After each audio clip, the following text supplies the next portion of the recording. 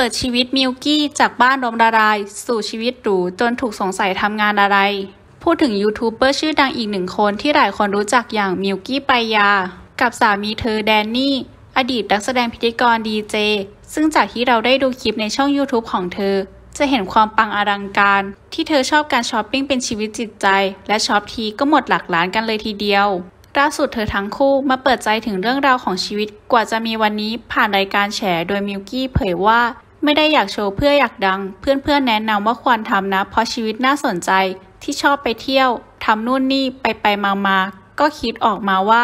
ทำให้เป็นตัวเอง เลยออกมาเป็นแบบนี้ บอกได้เลยว่าช็อปทีก็เป็นล้าน แต่ก็ไม่ได้ช็อปทุกวัน และกว่าจะช้อปปิ้งก็ทำงานเยอะมากเหมือนกัน ชีวิตก็ไม่ได้หรูหราอะไรมาก บางคนก็ใช้ชีวิตแบบนี้ แต่เขาไม่ได้มาถ่ายทอด เราจะมีคติไม่ซื้อของเพื่อสร้างคอนเทนต์ แต่ซื้อแล้วก็ขาย บางอย่างไม่ใช้เราก็ขาย ใช้แป๊บๆ ขายก็ได้คำที่มิ้วกี้เกลียดมากที่สุดคือทำแบบนี้เพราะผัวรวย มิ้วกี้ทำงานอะไร จากที่เห็นในกระทู้ต่างๆ จะบอกว่าหนูทำงานทุกอย่าง หนูขยันมาก ทุกวันเป็นเจ้าของแบรนด์ makeup ธุรกิจ มุก นำเข้าจากญี่ปุ่น